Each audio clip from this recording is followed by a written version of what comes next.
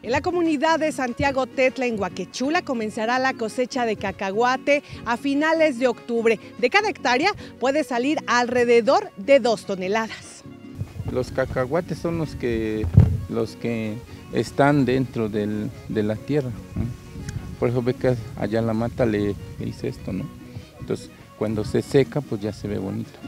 Su tiempo de producción requiere de 4 a 5 meses. Es en junio cuando algunas familias siembran preferentemente en los días del 15 al 20 de este mes.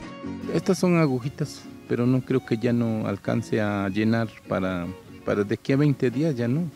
Entonces todo lo que, lo que ya está dado va a ser esto nada más.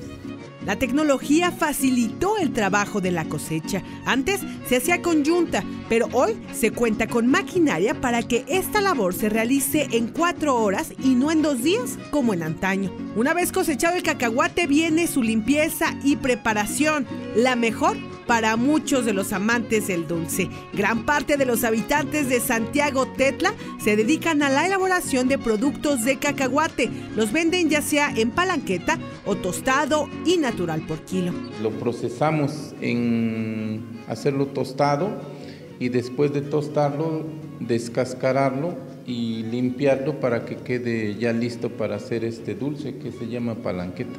Santiago Tetla recibe a visitantes todo el año en busca de estos famosos dulces que se convierten en una tradición. Sus mejores ventas son en temporada de cuaresma.